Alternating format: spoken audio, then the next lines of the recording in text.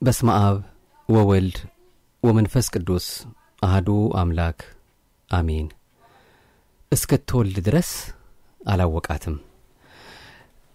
ንጽሕተ ንጹሐን ቅድስተ ቅዱሳን ድንግል ማርያምን በተመለከተ ዘላለማዊ ድንግል መሆኗንና ለእሷም የተሰጠውን ክብር የሚያጠይቀውን የተዋህዶ ኦርቶዶክሳዊት ቤተ ክርስቲያናችን ትምህርትን እንዲሁ ለዛሬም ወደ እናንተ ይዘን ተመልሰናል። ባለፈው ጊዜ በመንፈስ ቅዱስ ጸንሳ ተገኘች ብለን አንስተን ስለ እሷ ጉዳይ የተነጋገርንላት የሁላችን እመቤት ድንግል ማርያም የእግዚአብሔርን ነገር ሳይጠራጠሩ በፍጹም እምነት ይደረግልኛል ብሎ በማመን መቀበል እንደሚገባ በአርያነት ያስተማረችን የእምነት የሃይማኖት መምህራችን ናትና ከእሷ ጋር በተያያዘ ለዛሬም እንዲህ የምንለው ይኖረናል። እግዚአብሔር አምላካችን አሁንም በልባችን ጽላት የምንሰማው እንዲያሳድርልን ፈቃዱ ይሆንልን። እስክትወልድ ድረስ አላወቃትም። እመቤታችን ቅድስት ድንግል ማርያም ከመጽነሷ በፊት በጽንሰቷ ጊዜ ከጸነሰች በኋላ ከመውለዷ በፊት በወለደች ጊዜ ከመውለዷም በኋላ ወይም ደግሞ ከወለደች በኋላም ዘላለማዊት ድንግል ናት። ነቢዩ ኢሳይያስ በትንቢቱ እነሆ ድንግል ጸንሳለች፣ ወንድ ልጅም ትወልዳለች ኢሳይያስ 7 14 መልአኩ ገብርኤል ወደ ቅድስት ድንግል ማርያም እንደተላከ ሲገልጽ በስድስተኛውም ወር መልአኩ ገብርኤል ናዝሬት ወደምትባል ወደ ገሊላ ከተማ ከዳዊት ወገን ለሆነው ዮሴፍ ለሚባል ሰው ወደ ታጨች ወደ አንዲት ድንግል ከእግዚአብሔር ዘንድ ተላከ። የድንግሊቱም ስም ማርያም ነበር ይላል ሉቃስ ምዕራፍ 1 ቁጥር 26። በድንግልና ጸንሶ በድንግልና መውለድ ከተፈጥሮ ሕግ ውጪ በመሆኑ በሰውም ዘንድ ያልተሰማ ያልተለመደ ነውና መልአኩ እንደምትጸንስ ሲያበስራት ወንድ ስለማላውቅ ይህ እንዴት ይሆናል ብላ እመቤታችን ጠይቃለች። ይህም የእመቤታችንን ፍጹም ድንግልናና ንጽሕና ወይም ድንግል በሥጋሃ ወድንግል በሕሊናሃ መሆኗን ያስረዳል። መልአኩም መልሶ ለእግዚአብሔር የሚሳነው ነገር የለም ሲላት ያለ ጥርጥር በፍጹም እምነት ይህ እንዴት ይሆናል ሳትል ለእግዚአብሔር የሚሳነው ነገር የለም ሌላ የሚሳነው እንደሌለ ታውቃለችና እንደ ቃሌ ይደረግልኝ ብላ ተቀብላለች። እመቤታችን ቅድስት ድንግል ማርያም በድንግልና ጸንሳ በድንግልና መውለዷ ታላቅ ትምህርታዊ ምስጢር አለው። ይኸውም ጌታችን ኢየሱስ ክርስቶስ በዘር በሩካቤ ተወልዶ ቢሆን ሩቅ ብእሲ ወይም ፍጡር ነው ባሉት ነበርና፣ ሌላው ደግሞ ትንቢቱን ምሳሌውን ለመፈጸም ነው። ትንቢቱ ምንድን ነው ቢሉ ድንግል በድንግልናዋ ትጸንሳለች፣ ወንድ ልጅም ትወልዳለች በማለት ኢሳይያስ በትንቢቱ ተናግሮ ነበርና ነው። ይህን እውነት አድርጎ አረጋግጦ በድንግልና ተጸንሶ በድንግልና ተወልዷል። ምሳሌው ደግሞ ቀዳማዊ አዳም ከእህቱ ምድር ተገኝቷልና ይህም ክርስቶስ ከእህቱ ማኅፀን ለመገኘቱ ምሳሌ ነው። በተጨማሪ ሔዋን ከእህቱም ገቦ ተገኝታለች። ይህም ጌታ ከእህቱም ማኅፀን ለመገኘቱ ምሳሌ ነው። ጽምአ እስራኤል ወይም ደግሞ የእስራኤልን ጥም ያበረደው ውሃ ከእህቱም አለት ተገኝቷል። ጽምአ ነፍስን ያበረደ ማየ ሕይወት ጌታም ከእህቱም ማኅፀን ለመገኘቱ ምሳሌ ነው። እንግዲህ እህቱም ያው ድንግል ያልተነካ እንደማለት ነው፣ አዲስ ከሆነ ነገር ማለት ነው። ጽምአ ሶምሶንን ያበረደ ውሃ ከእህቱም መንሰከ አድግ ወይም ከአህያ አጥንት ተገኝቷል። ጽማ ነፍሳትን ያበረደ የሕይወት ውሃ ክርስቶስም ከእህቱም ማኅፀን ለመገኘቱ ምሳሌ ነው። በድንግልና የመውለዷ ሃይማኖታዊ ምስጢር ስንመለከት ደግሞ የራሱ የሆነ ምሳሌ እንዳለው እንረዳለን። በድንግልና በመውለዷ ድንግል ወእም ድንግልም እናትም ስትባል ለዘላለሙ መኖሯ አምላክ ወሰብ አምላክም ሰውም ሲባል ለመኖሩ ምሳሌ በመሆኑ ነው። በተጨማሪም ስትወልደው ማኅተመ ድንግልናዋ አለመለወጡ ሰው ቢሆን ባሕርየ መለኮቱ ላለመለወጡ ምሳሌ ናትና ነው። የእመቤታችን ዘላለማዊ ድንግልና ብዙ ትምህርትና ምስጢር አለው። ስለ ድንግል ማርያም ዘላለማዊ ድንግልና ስንናገር ለማመን የሚቸገሩ አንዳንድ ሰዎች የሚያነሷቸውን ጥያቄዎች ከዚሁ ጋር አያይዘን በጥቂቱ ለመቃኘት እንሞክር። በመጀመሪያ የምንመለከተው እስክትወልድ ድረስ አላወቃትም ይላልና ነው። እንግዲህ ብዙዎች ከዮሴፍ ጋር በተያያዘ የሚያነሱትን ጥያቄ ምላሽ የሚያጠይቅ ነው። ይሄ ከወለደች በኋላ ዮሴፍ እንዳወቃት ያመለክታል የሚሉትን ሰዎች ጥያቄ እንመልሳለን። እዚህ ላይ በጣም ልንጠነቀቅ የሚገባው በሥጋና በደም ሐሳብ ተነስተን የመጽሐፍ ቅዱስን ቃል መተርጎም እንደሌለብን ነው። ቅዱስ ጴጥሮስ በአንደኛ ጴጥሮስ መልእክቱ ምዕራፍ 1 ቁጥር 20 ላይ እንዳሳሰበው የመጽሐፍን ቃል ቅዱሳን አባቶች በመንፈስ እየተመሩ እንደተናገሩ መረዳት ይኖርብናል። ማንም በራሱ ፈቃድ መተርጎም እንደሌለበትም መጽሐፍ ቅዱስ ይነግረናል። በዚህ ነጥብ ላይ ቤተ ክርስቲያናችን ጠንቃቃ በመሆኗ አባቶች በመንፈስ ተረድተው የተረጎሙትን ቤተ ክርስቲያን አረጋግጣ ታስተምረናለች። ቅዱስ ጳውሎስም በአንደኛ ቆሮንቶስ ምዕራፍ 2 ቁጥር 13 ላይ መንፈሳዊ ነገርን ከመንፈሳዊ ነገር ጋር አስተያይተን መንፈስ በሚያስተምረን መሰረት ቃል እንናገራለን እንጂ የሰው ጥበብ በሚያስተምረን ቃል አይደለም እንዳለ በጥንቃቄ የመጽሐፉን ቃልና ትርጉም እንመለከታለን። ከቅዱሳት መጽሐፍት እንደምንረዳው የበኩር ልጇ የሚለው ቃል ቀዳሚነትን እንጂ የበኩር ልጇን እስክትወልድ እስከሚለው ማለት ነውና ቀዳሚነትን እንጂ ተከታይነትን አያመለክትም። ይህንንም ከእስራኤላውያን ባህልና ስርዓት አኳያ ምን እንደሆነ በሚገባ መመርመር ያስፈልጋል። በእነርሱ ባህል ተከታይ ቢኖረውም ባይኖረውም መጀመሪያ የእናቱን ማኅፀን ከፍቶ የተወለደ ልጅ የበኩር ልጅ ይባላል። እግዚአብሔር በብርቱ እጅ ከባርነት ቀንበር ከግብፅ ምድር ነፃ እንዳወጣቸውና ፈርዖን ልቡን ባጸና ጊዜ እግዚአብሔር ከሰው በኩር ጀምሮ እስከ እንስሳው ያለውን በጽኑ ኃይል እንደገደለ በዚህም ተአምራት ፈርዖን ሕዝቡን እንደለቀቀ በዘመናቸው ሁሉ ይህን እያሰቡለት እያሰቡ እንዲያከብሩት በኩርን ወደ እግዚአብሔር እንዲያቀርቡ ታዘዋል። በኩር ለመባል ግን የግድ ተከታይ ልጅ ቢያስፈልገው ኖሮ በእስራኤላውያን ዘንድ በቤተ መቅደስ ለበኩር ልጅ ይደረግ የነበረው ሥርዓት ሁለተኛ ተከታይ ልጅ እስኪወለድ በዘገየ ነበር። ነገር ግን አይዘገይም። ወዲያው እንደተወለደ ሥርዓቱ ይደረግለታል።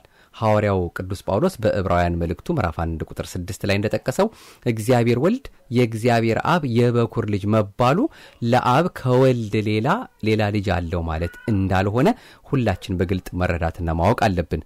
ይህ ደግሞ ለእመቤታችን ጌታችን ኢየሱስ ክርስቶስ የበኩር ልጇ ነው ስንል ተቀዳሚ ተከታይ የሌለው አንድያ ልጇ እንደሆነ የሚያስረዳን ነው።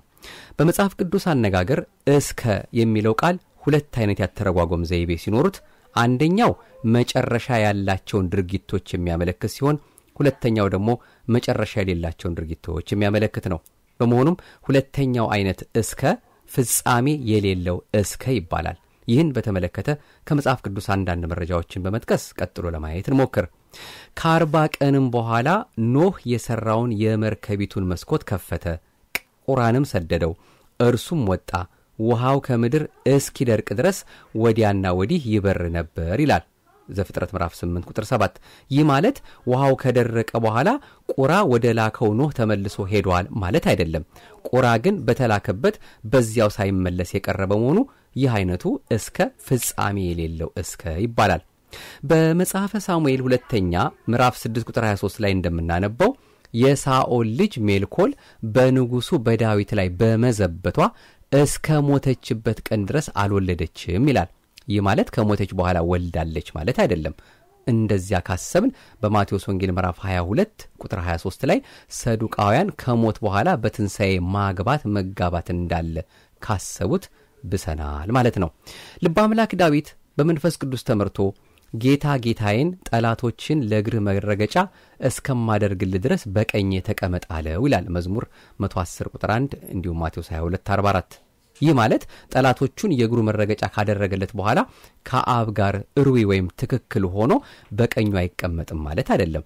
እርሱ ራሱ ከእንግዲህ ወዲህ የሰው ልጅ በኃይል ቀኝ ሲቀመጥ በሰማይም ደመና ሲመጣ ታዩታላችሁ ብሏል ማቴዎስ 26 64 ለደቀ መዛሙርቱም እነሆ እኔ እስከ ዓለም ፍጻሜ ድረስ ሁልጊዜ ከእናንተ ጋር ነኝ ማቴዎስ 28 ቁጥር 10 ሲል ከዓለም ፍጻሜ በኋላ ከእነርሱ ይለያቸዋል ማለት አይደለም። እንግዲህ ከዚህ በላይ በተመለከትናቸው ምንባባትና ምስጢራቸው መሰረት የበኩር ልጇን እስከምትወልድ ድረስ አላወቃትም ማለት እንደ ተጠራጣሪዎቹ አባባል ከወለደችው በኋላ አውቋታል ላቲ ስባት ለማለት ሳይሆን እስከ መጨረሻው በሥጋ እንዳላወቃት ጌታችን በግብረ መንፈስ ቅዱስ በንጽሕና በድንግልና ወልዳ በንጽሕና በድንግልና እንደኖረች የሚያስረዳ ነው። ይህን የበለጠ ለማረጋገጥ ነቢዩ ሕዝቅኤል ስለ እመቤታችን ዘላለማዊ ድንግልና በመንፈስ ቅዱስ በመቃኘት አስቀድሞ በትንቢት የተናገረውን ቃል መመልከት ያስፈልጋል። ወደ ምስራቅ ወደሚመለከተው በስተ ውጭ ወዳለ ወደ መቅደሱ በር አመጣኝ፣ ተዘግቶም ነበር። እግዚአብሔርም ይህ በር ተዘግቶ ይኖራል እንጂ አይከፈትም፣ ሰውም አይገባበትም። የእስራኤል አምላክ እግዚአብሔር ገብቶበታልና ተዘግቶ ይኖራል። ሕዝቅኤል 44 ቁጥር 1። በዚህ ትንቢታዊ ቃል ውስጥ በምስራቅ የተመሰለች እመቤታችን ናት። ፀሐየ ጽድቅ ኢየሱስ ክርስቶስ የተገኘባት የምስራቅ በር እርሷ ናትና መቅደስ ያለውም ማኅፀኗን ነው። የመቅደሱ በር ተዘግቶ ተቆልፎ መታየቱ ማኅተመ ድንግልናዋ ዘላለማዊ መሆኑን ያመለክታል። እግዚአብሔር ያደረበት መቅደስ የነገሰበት ዙፋን ስለሆነ የእመቤታችንን ማኅፀን ፍጡር ሊያድርበት ሊጸነስበት የማይችል እንደሆነ ያሳያል። አንድ ጊዜ ለእግዚአብሔር የተለየ መቅደስ ለእግዚአብሔር ሆኖ እንደሚኖር ነው ነቢዩ የተናገረው። አንዳንድ ብልጥ አሦራውያን ዳንኤል ምዕራፍ 5 ቁጥር 1 ላይ እስከ 31 የምናነበው ታሪክ ነው። ለእግዚአብሔር የተለየን መቅደስና የተቀደሰውን ነገር ለፍጡር መገልገያ አድርገው ለመስጠት ስለሚያስቡ የእግዚአብሔር ጣት በእነርሱ ላይ እስክትፈርድ ተመዝነውም በፍርድ ቀን እስከሚቀሉ ድረስ ሰውን ግራ ማጋባታቸው አይቀርም። በእግዚአብሔር መንፈስ ለሚመራ በቅንነትና በእምነት ለሚያስተውል ግን ስለ እመቤታችን ዘላለማዊ ድንግልና በሚገባ ግልጽ አድርጎ አስቀምጦታል። ከዚሁም ጋር በተመሳሳይ መልኩ በውዳሴ ማርያም ጸሎት እመቤታችንን ለማመስገን የታደለው ታላቁ የቤተ ክርስቲያን አባት ቅዱስ ኤፍሬም ስለ ዘላለማዊ ድንግልናዋ ከነቢያት ትንቢት ጋር አስተባብሮ ሲመሰክር በታላቅ ቁልፍ የተቆልፋ ማንም ሊወጣና ሊገባ የማይቻለው አማናዊት ሆህት አንቺ ነሽ እያለ እመቤታችንን አመስግኗታል። በረቡዕ ውዳሴ ማርያም ማለት ነው ቁጥር ስምንት ላይ እመቤታችን እንግዲህ ቅድስት ድንግል ማርያም የኃጢአት ትንታን በማሰብ በመናገርና በመስራት ምንም ያላገኛት ናት። ስለሆነም ከንጹሐን ሁሉ ንጽሕት ከቅዱሳን ሁሉ ቅድስት ተብላ በሰውና በመላእክት ሁሉ ትመሰገናለች። ከእናቷ ማኅፀን ጀምሮ መንፈስ ቅዱስ ከመርገመ ሥጋ ወነፍስ ለይቷታል። ልበ አምላክ ዳዊት በመንፈስ ቅዱስ ተቃኝቶ በመዝሙሩ እንደተናገረው ቀደሰ ማኅደሮ ልዑል ልዑል ማደሪያውን ቀደሰ። ይህም ማለቱ ልዑለ ባሕሪ እግዚአብሔር ማደሪያው ተሆነው ዘንድ እመቤታችን ቅድስት ንጽሕት ድንግል ማርያምን በድንጋሌ ሥጋ በድንጋሌ ነፍስ አጸናት ሲል ነው። ስለ ንጽሕናና ቅድስና ስንናገር ከሰው ልጆች ወገን ከመቤታችን በስተቀር በሐልዮም በሐሳብም በገቢርም በማድረግም በነቢብም በመናገርም ከኀጢአት ንጹሕ የሆነ የለም። ሰው ከግብር ኀጢአት ቢነጻ ከሐልዮ ከሐሳብ አይነጻምና ስለ እመቤታችን ንጽሕና ስንናገር አባቶቻችን ይህንኑ ንጽሕናዋን ቅድስናዋን በተለያየ ደረጃ እየከፈሉ ያስተምሮናል። እመቤታችን ቅድስት ድንግል ማርያም በሦስት ወገን ንጽሕት ናት። ንጽሕተ ሥጋ፣ ንጽሕተ ነፍስና ንጽሕተ ልቦና የተስማማላት ናት። ይህም ማለት በንጽሐ ሥጋ፣ በንጽሐ ነፍስ፣ በንጽሐ ልቦና ያጌጠች ናት። የእርሷ ንጽሕናና ቅድስና ደግሞ ዘላለማዊ ነው። ለዚህም የእስክንድሪያው ሊቀ ጳጳስ ቅዱስ ዘካርያስ በድርሳኑ መስክሯል። ሃይማኖተ አበው 108 ገጽ 108 ቁጥር 3 ይህን እንግዲህ ከብዙ በጥቂቱ እስክትወልድ ድረስ አላወቃትም የሚለው ሲሆን የቅዱስ ዮሴፍን ጽድቅ ያው መቼም ስለ እሱ ነውና ስናነሳ የነበረው ስለ እሱ ደግሞ አንዲት ነገር እናክልላችሁ። ዮሴፍ እመቤታችንን የተቀበለው ሊጠብቃት ሊንከባከባት እንጂ ሚስት ልትሆነው ዘንድ አይደለም። ይህንንም ቅዱስ ማቴዎስ በወንጌሉ ገልጾታል። የዮሴፍም ጽድቅ የተገለጸው በዚሁ ምክንያት ነው። ምክንያቱም ለሚስትነት ወስዷት ቢሆን ኖሮ ከእርሱ እንዳልጸነሰች እያወቀ እርግዝናዋን ዝም ብሎ ሊመለከት አይችልም። እንኳን በግብር ሳያውቃት ቀርቶ በግብር ቢያውቃትም ጽንሱ ከእርሱ እንዳልሆነ ከጠረጠረ በኦሪቱ ስርዓት መሠረት ወደ ሊቀ ካህናቱ ይወስዳታል፣ ጥርጣሬውንም ይነግራል። ካህኑም ወንዱ ይዞት የመጣውን የገብስ ዱቄትና ውሃ በቤተ መቅደሱ ካለ የዕጣኑ እራፊ ጋር ቀላቅሎ የሚጸለየውን ጸልዮ ባልሽ የጠረጠረሽን አድርገሽ ከሆነ ስጋሽ ይበጥ፣ ቁርበትሽ ወይም ቆዳሽ ይላጥ፣ አላደረግሽው እንደሆነ ደግሞ በወንድ ልጅ ተከበሪ ብሎ ይሰጣታል። እርሷም መርገሙ ይደረግብኝ፣ በረከቱ ይሁንልኝ ብላ ትጠጣዋለች። ዮሴፍ ግን ይህን በሕግ የተፈቀደውን ያላደረገው መጀመሪያውኑ ሊጠብቃት የተቀበላት በመሆኑ ነው። ይሁን እንጂ ዮሴፍ ጭንቀት አልቀረለትም። ከመጨነቁም የተነሳ ከሁለት ነገሮች በአንዱ ላይ መወሰን ተስኖት በሐሳብ ይዋዥቅ ነበር። ወደ ቆጠራው ይዟት እንዳይወጣ ልጠብቃት ሰተንህ ለምን እንዲህ አደረግ ተብሎ ቢጠየቅና የእርሱ አለመሆኑን ቢናገር እርሷን እንደ ሕጋቸው በድንጋይ ወግረው በእሳት አቃጥለው ይገሉብኛል ብሎ ተጨነቀ። ትቷት ቢሄድም ያደረገውን አውቆ ወደ ቆጠራ ሳይዛት መጣ የሚሉ ከሳሾችንም ፈራ። በእነዚህ በሁለቱ ሲጨነቅ ሲያወጣም ሲያወርድ ሲፈራ ሲቸገር መልአኩ በሕልም አነጋገረው። ወንጌላዊው እጮኛዋ ዮሴፍም ጻድቅ ሆኖ ሊገልጣት ስላልወደደ በስውር ሊተዋት አሰበ ያለው ይህንኑ ለመግለጥ ነው። የዮሴፍም ጽድቅ የወንጌል እንጂ የኦሪት አይደለም። ዮሴፍ ግን በግብር ፈጽሞ የማያውቃት ሆኖ ሳለ እንኳ ሊተዋት ነገሩን ላይገልጥባት አስቧልና ይህም በወንጌል ያለ ከባት ያበሳነት ነው። ስለዚህ ዮሴፍ ጻድቀ ወንጌል እንጂ ጻድቀ ኦሪት አይባልም። ዮሴፍ በዚህ ግብሩ ጻድቅ ቢሆንም ለቆጠራው የሚያደርገው አስጨንቆት ነበር። መልአኩ በሕልም ተገልጦ የዳዊት ልጅ ዮሴፍ ሆይ የተጸነሰው ከመንፈስ ቅዱስ ነውና እጮኛህን ማርያምን ለመውሰድ አትፍራ ያለው ከዚህ ጋር በተያያዘ ነው። እንግዲህ ከብዙ በጥቂቱ እስክትወልድ ድረስ አላወቃትም የሚለው ይህን ይመስላል። ሰፋ ባለመልኩ ከዚህም የበለጠ ይብራራል። ወደፊት የበለጠ እያብላላ ነው። ከዮሴፍ ጋርም በተያያዘም የምንመለከተው ጉዳይ ያለን። ወደ ልደቱ ደግሞ ስንቀርብ እግዚአብሔር አምላካችን አሁንም የሰማነው በልባችን ያሳድር። ሐመር መጽሔት ጥር የካቲት 1995 ዓ ም ና ኪዳነ ጽድቅ የቅዱስ ማቴዎስ ወንጌል ማብራሪያ ከተባለው መጽሐፍ ነው ያገኘ ነው። እግዚአብሔር አምላካችን እንግዲህ የሰማነውን በልባችን አሳድሮ ለፍሬ ለበረከት አድርጎልን ያችን ብርሃነ ልደቱን ለማየት እንዲያበቃን ፈቃዱ ይሁንልን። አቤቱ አንተም መፍራትን በልቦናችን በጎ አምልኮትህንም በህሊናችን ጨምር። በዚህ በማህደረ ተዋህዶ የሚተላለፈውን መልእክት እንደ እግዚአብሔር ፈቃድ የምታደምጡ ሁሉ አስተያየቶቻችሁን ዩቱብን የምትከታተሉም ሆነ በፌስቡክ ላይም የምትከታተሉ ከስሩ አስተያየት መስጠት ትችላላችሁ። እያደመጣችሁ ወይም ደግሞ እየተጠቀማችሁ እንደሆነ ሌሎችም ማዳረስ እንዳትረሱ ነው። ማህደረ ተዋህዶ ብላችሁ ስትገቡ ዩቱብን ስትከታተሉ subscribe ማድረጉን like ና share ደግሞ ፌስቡኩን ማድረጉ እንዳትረሱ በዚሁ አጋጣሚ በአጽንኦት መልእክቱ እናስተላልፋለን። አሁንም ተዋህዶ እጅግ በርካታ ትምህርት አላት። ከጌታ ልደት ከጌታ ጥምቀት ጋር የምንማማራቸው ብዙ ነገሮች አሉ። እድሜውን ያበድረን መጽሐፍት የሚነግሩንን ከተዋህዶ ማህደራችን እያወጣን የምንማማራቸው ብዙ ጉዳዮች አሉ። አምላካችን የሰማኑ በልባችን ጽላት ጽፎ በነጻች በጎላች በተረዳች ሐዋርያዊት ዓለም አቀፋዊት ብሔራዊት ታሪካዊት በሆነች በዝች በተዋህዶ እምነታችን እንዲያጸናን ፈቃዱ ይሁንልን። ይቆየን። እንመለሳለን በሌሎች መርሃ ግብሮቻችን ግብሮቻችን ግብሮቻችን